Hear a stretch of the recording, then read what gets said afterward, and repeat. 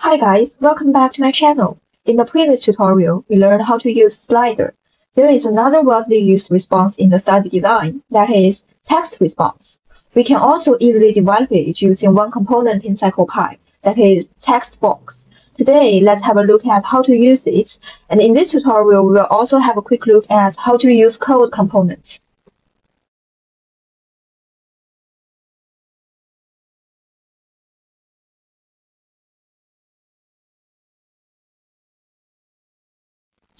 Now, let's first add a text box component to our project. You can see that the interface of text box looks quite similar to the text component. The different point is that text box has a choice, editable.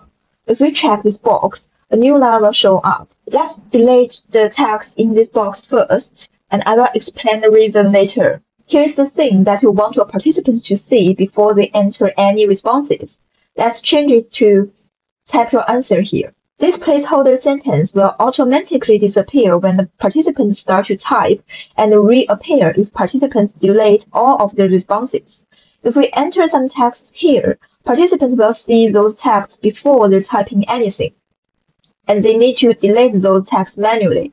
So we don't need any other words in the text box for this project. And remember to set this as set every repeat.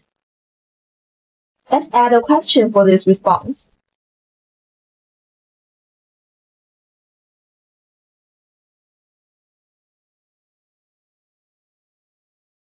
Let's just say question 1, and let's adjust the location a little bit.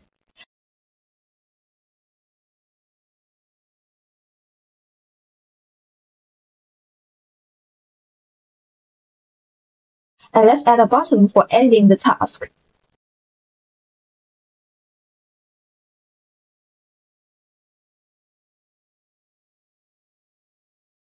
Let's resize it and put it at right bottom.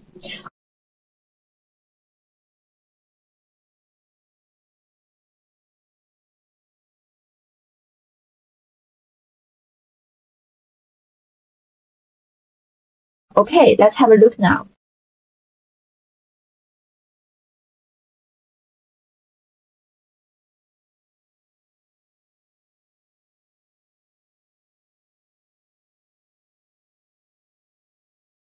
In normal cases, we will have several questions in one experiment, which means we will use loop for most of our studies.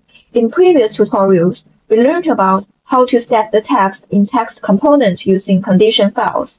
Let's insert a loop here.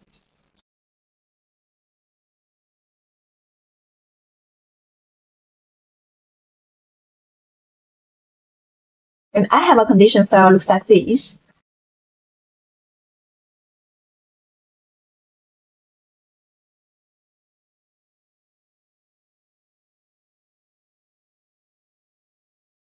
Let's change the text as question, variable condition. Here we will see a problem. PsychoPy can't identify this variable if we put it into a sentence. How should we deal with this situation? We can use code components. Let's add a code component here. We can see here we have several tabs. In this tutorial, I will just introduce begin routine quickly, since we only use this tab in this project. We will have a video to introduce the code component in detail. So the code we put in this tab represents the things we want PsychoPy to do at the start of the current routine. In this case, it's a text routine. We want to set the text in the question component. So let's say question.text equals to questions plus condition. Remember, in the code component, we don't need to add the variable symbol. The name represents a variable, just like what we do in Python. Okay, let's see whether it works.